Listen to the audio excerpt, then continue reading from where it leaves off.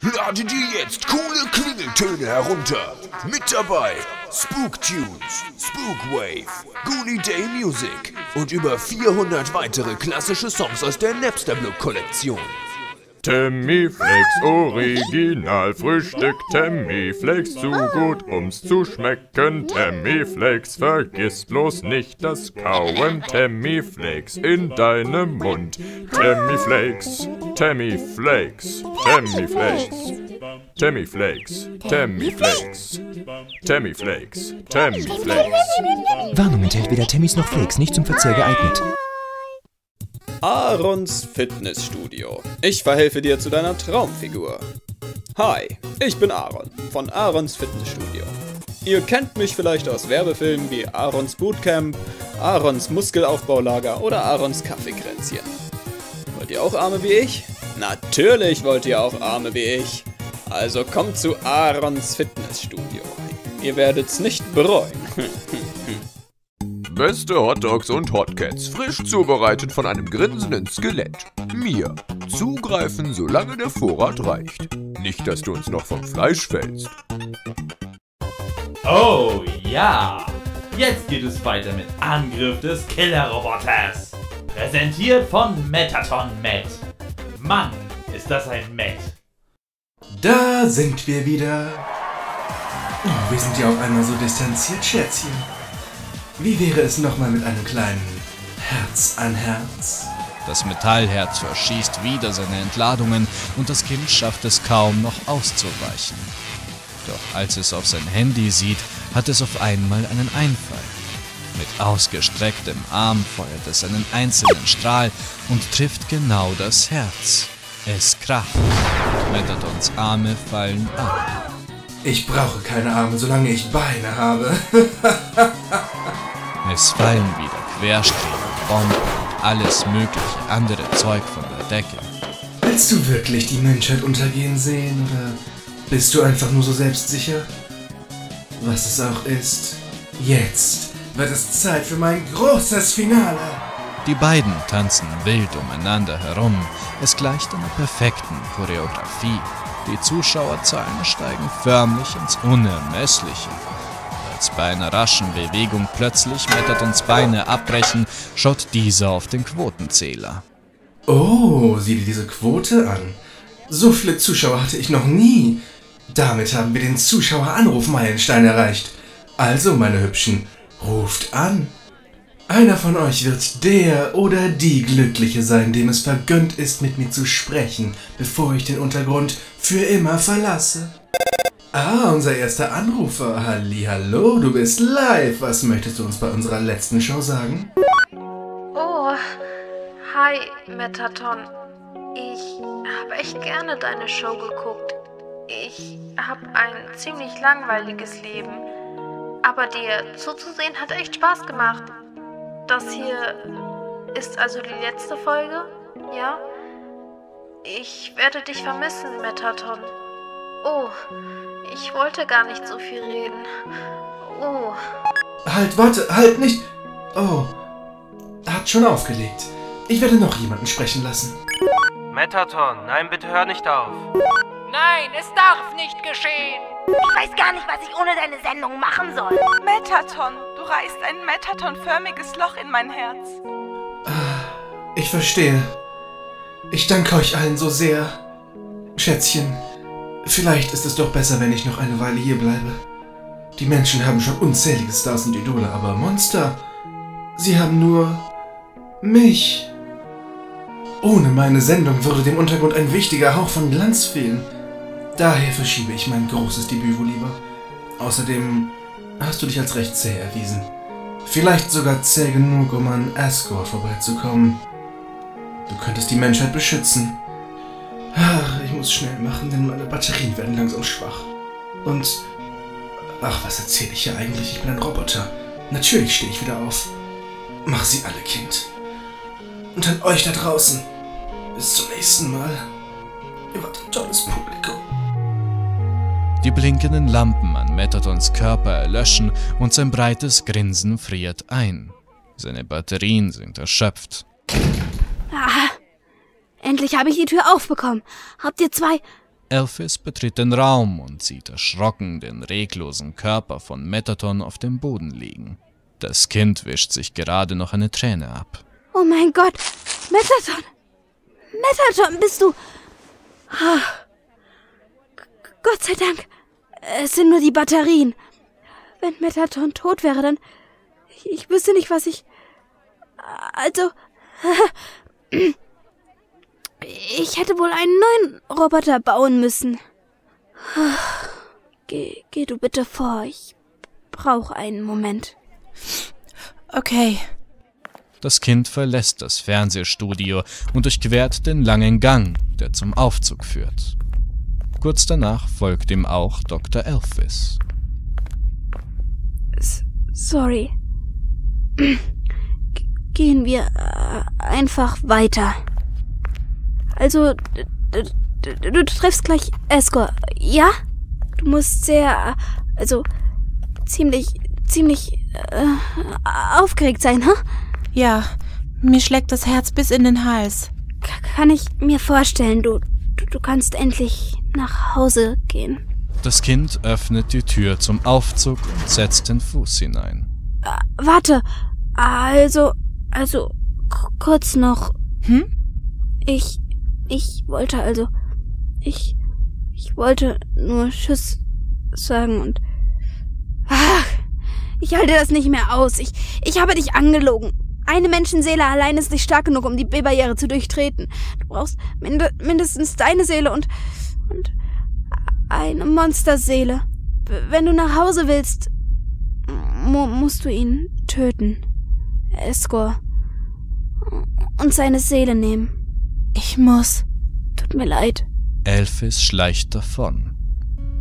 Als das Kind zögernd den Knopf im Aufzug drückt, gibt es kein Zurück mehr. Er steigt aus dem Aufzug heraus und findet sich auf der großen Festungsmauer der Hauptstadt wieder. Dem Ziel nun so nah zu sein, füllt es mit Entschlossenheit. Es betritt einen kleinen Innenhof, der ihm sehr bekannt vorkommt. Dahinter ein Haus, das es ebenfalls zu kennen scheint. Als das Kind hineingeht, sieht es auch woher. Das Gebäude ähnelt stark dem gemütlichen Heim von Toriel. Überall erwarten es bereits die verschiedensten Monster. Sie bilden ein Spalier, durch das das Kind mit festem Schritt und klopfendem Herzen schreitet. Vor langer Zeit stürzte ein Menschenkind hinab in die Ruinen. Verletzt rief es nach Hilfe. Asriel, des Königs Sohn, hörte den Ruf. Er brachte den Menschen nach Hause ins Schloss. Mit der Zeit wurden die beiden wie Geschwister. König und Königin behandelten das Kind wie ihr eigenes. Doch eines Tages wurde der Mensch schrecklich krank. Das sterbende Kind hatte nur einen einzigen Wunsch. Die Blumen seines Heimatdorfes ein letztes Mal wiederzusehen. Doch wir konnten nichts tun. Niemand konnte etwas tun. Am nächsten Tag war das Kind gestorben. Asriel, von Kummer erfüllt, nahm des Kindes Seele auf. Er wurde zu einem Wesen mit enormer Macht. So konnte er die Barriere durchschreiten. Er wandelte dem Sonnenuntergang entgegen. Bis zum Dorf der Menschen. Er fand dort ein großes Bett aus Blumen und pflückte einige von ihnen. Plötzlich ertönten Schreie. Die Menschen des Dorfes hatten Asriel gesehen. Sie glaubten, er sei gekommen, um sie zu vernichten. So warfen sie ihm alles entgegen, was sie hatten. Asriel hatte die Macht, sie alle mit einem einzigen Schlag auszulöschen. Doch er tat es nicht. Asriel nahm die Blumen an sich und schritt lächelnd davon. Schwer verwundet kehrte er nach Hause zurück und brach erschöpft zusammen. Als er zu Staub zerfiel, bedeckte seine Asche den ganzen Blumengarten. Das Land versank in Verzweiflung. König und Königin hatten in einer Nacht ihre beiden Kinder verloren. Der König entschied, dass es Zeit war, unser Leid zu beenden. Jeder Mensch, der sich zu uns verehrte, sollte augenblicklich getötet werden. Mit genügend Seelen wäre es uns möglich, die Barriere zu zerbrechen. Und nun dauert es nicht mehr lange. König Asgore wird uns alle erretten. König Asgore wird uns Hoffnung geben. König Asgore wird uns in Freiheit führen. Auch du solltest lächeln. Bist du nicht froh? Ist es nicht das, was du willst? Du wirst genauso frei sein wie wir. Die Umfassungsmauer endet. Eine große Tür führt in die anliegende Halle. Auf dem Boden liegt eine alte, halb verrostete Klinge. Das Kind nimmt die Waffe an sich und atmet tief durch. Den letzten Korridor zu sehen, füllt es mit Entschlossenheit. Als es dem Säulengang folgt, tritt Sans aus dem Schatten hervor und hält ihn an. Also hast du es geschafft. Das Ende deiner Reise liegt unmittelbar vor dir. In wenigen Augenblicken wirst du auf den König treffen. Du und er. Ihr beide werdet die Zukunft des Untergrundes, der Oberwelt, der Monster und der Menschen entscheiden. Und du wirst beurteilt werden. Beurteilt für jeden EXP-Punkt, den du im Laufe der Reise gesammelt hast. EXP-Punkt? Ein Akronym für Exekutionspunkte. Wann auch immer du einem Monster Leid zufügst, sammelst du sie. Und wenn du genügend von ihnen hast, erhältst du Liebe. Auch Liebe ist ein Akronym. Es steht für Level intensiver, eiskalter und brutaler Ermordung. Je mehr Schmerz du zufügst, umso distanzierter wirst du.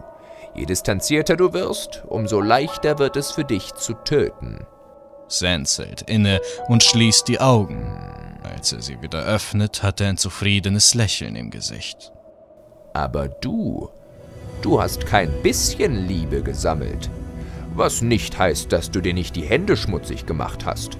Doch du hast stets deine Menschlichkeit bewahrt, ganz gleich welchen Prüfungen du dich stellen musstest. Du hast immer angestrebt, das Richtige zu tun, hast abgelehnt, andere zu verletzen.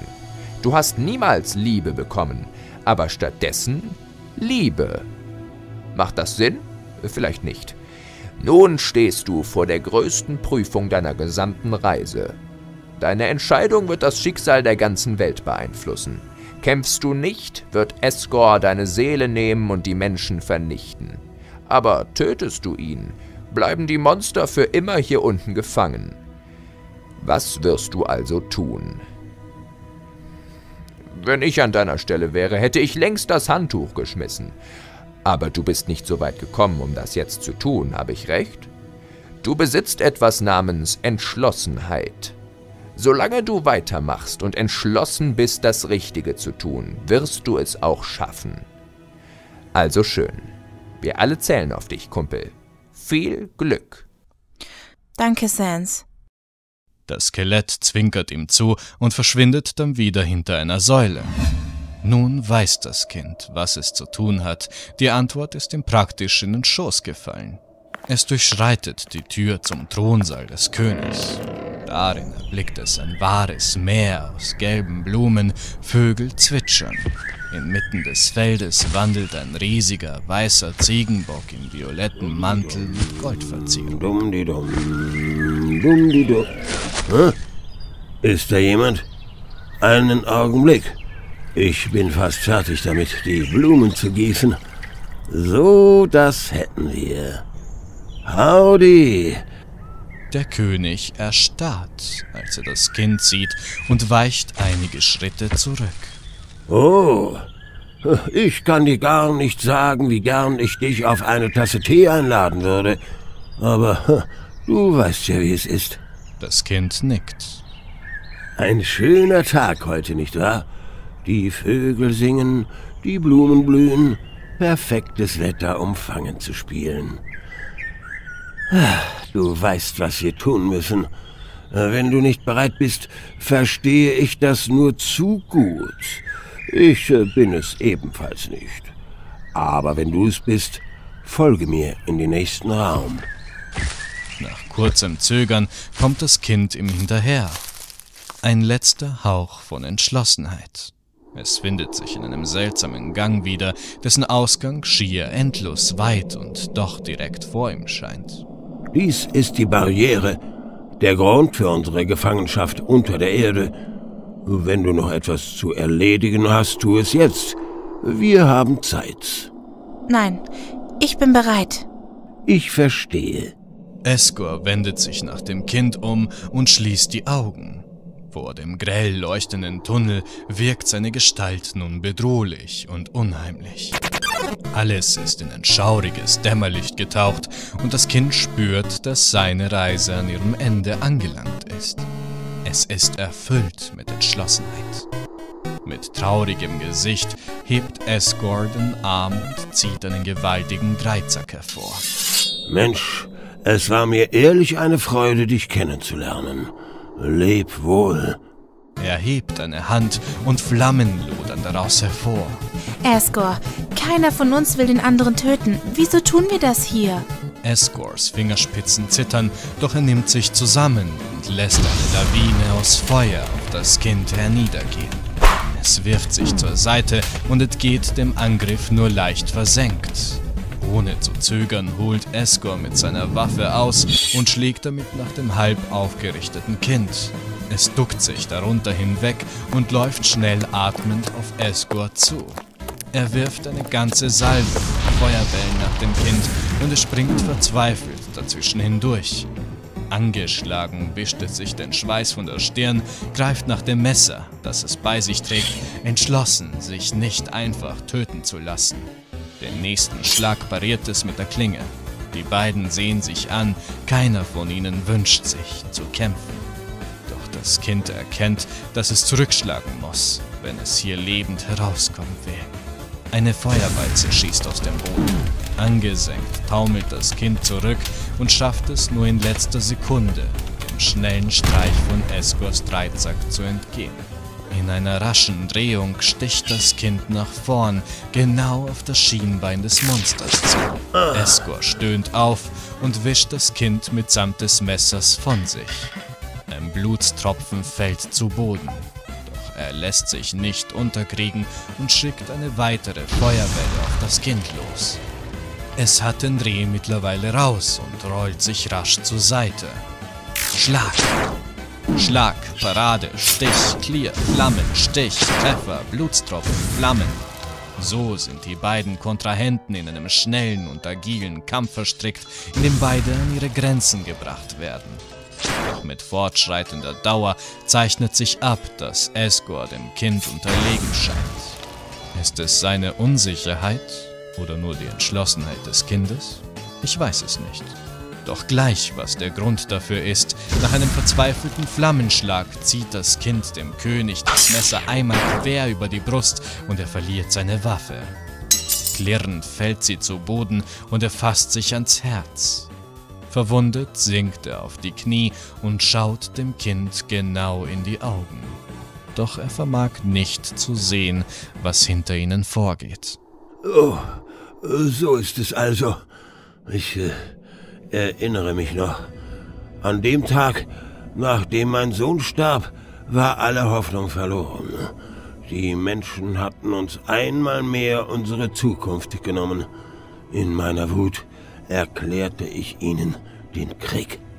Ich schwor, jeden Menschen zu vernichten, der hierher in den Untergrund kam, um ihre Seelen zu nutzen, um ein Gott zu werden und das Siegel zu brechen, das uns in diesem finsteren Verlies einsperrt. Dann äh, wäre es endlich an der Zeit für unsere Rache an den Menschen. Die Monster können die Oberfläche in Frieden beherrschen. Das Volk bejubelte meinen Plan, doch meine Frau war angewidert von mir. Sie verließ dieses Schloss und kam nie wieder. Wir haben sechs Seelen geerntet. Ich trage sie stets bei mir. Es fehlte nur noch deine, um den Plan Wirklichkeit werden zu lassen. Um die Wahrheit zu sagen, ich will keine Macht. Und ich will auch niemanden verletzen. Alles, was ich will, ist, dass die Monster hoffen können. Doch ich ertrage es nicht länger. Bitte, Kind, nimm meine Seele und verlasse diesen verfluchten Ort. Nein. Das Kind lässt das Messer fallen. Nein? Nach allem, was ich dir angetan habe, bleibst du doch lieber mit uns gefangen und leidest, anstatt ein glückliches Leben an der Oberfläche zu führen? Ich würde es nicht Leiden nennen.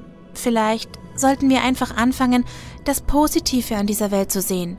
Jedes Monster, das ich unterwegs getroffen habe, konnte mir seine eigene Geschichte erzählen. Sie alle haben ihre kleinen und großen Träume. Sie haben diese Welt zu einem Ort gemacht, den sie Heimat nennen können. Und auch wenn viele sich eine Rückkehr an die Oberfläche wünschen, glaub mir, wenn ich sage, dass es hier unten gar nicht so schlimm ist. Mensch, du, ich verspreche dir, solange du hier unten bleiben mögest, werden meine Frau und ich uns gut um dich kümmern. Äh, Wir können uns ans Feuer setzen und Geschichten erzählen, Buttercreme, Zimtkuchen essen. Wir könnten eine richtige Familie werden. Das hört sich sehr gut an, Esgor. Das Kind kämpft mit den Tränen. Es hat vollbracht, was alle für unmöglich hielten. Es hat sich entgegen der Vernunft für die Menschlichkeit und den Frieden entschieden. Esgor ist tief berührt, er lächelt stumm in Richtung des Kindes. Doch auf dem Boden um ihn herum wächst plötzlich ein grüner Ring aus hellem Gras. Was, was ist das? Oh nein. Die Grashalme schlingen sich gleich kräftigen Ranken an Esgors geschundenen Körper empor. Er erstarrt und fasst sich ans Herz. Mit einem Mal verzieht er das Gesicht und regt sich nicht mehr. Die Ranken quetschen sich zusammen und so rasch wie das Gras erschienen war, löst sich Esgor in Asche auf, die ihn fortgeweht wird. Ein festes, weißes Herz bleibt dort schweben, wo er zuvor gestanden hat. Ein kleines, weißes Blütenblatt fliegt zielstrebig auf das Herz zu und zertrümmert es in unzählige kleine Teile. N nein! Du Idiot! Du hast nichts dazugelernt! In dieser Welt heißt es, töte oder werde getötet!